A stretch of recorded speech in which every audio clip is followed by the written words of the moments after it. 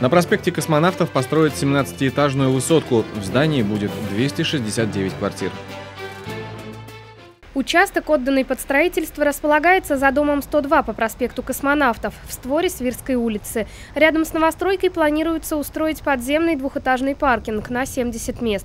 Разрешение на строительство было выдано в декабре, а ввести здание в эксплуатацию планируют через два года, в 2018 -м. Генеральным подрядчиком на его строительстве выступает ООО «РМ Строй».